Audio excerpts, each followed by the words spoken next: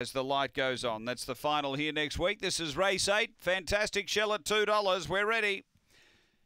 Racing, fantastic shell hopped out cleanly. It's pushing up. Corborn Sophie began well on velocity. Dory, it got over here. The pink fantastic shell crossed them and got away by two. Corborn Sophie doing the chasing. Then velocity Dory. Uh, next triggeration, Power Stone and Hot Spartan. But away is fantastic shell by four over Corborn Sophie, velocity Dory. Uh, then Power Stone, triggeration. They race to the turn and it's all fantastic shell. Well clear of Corborn Sophie and fantastic shell won it well. Second, I reckon Corborn Sophie just from Power Stone and Velocity Dory and a gap away Triggeration and Hot Spartan. The time here is very good. 29 and 60. Big run.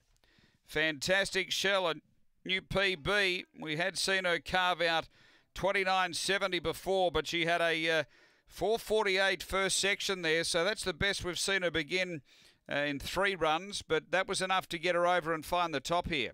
Uh, number eight, Fantastic Shell, too good. Second to one, uh, Corborn Sophie for Chris Jensen. Third going to uh, seven, Power Stone, Stephen Brook. It's 8 1 7 2, 29 60, race number eight at Angle Park.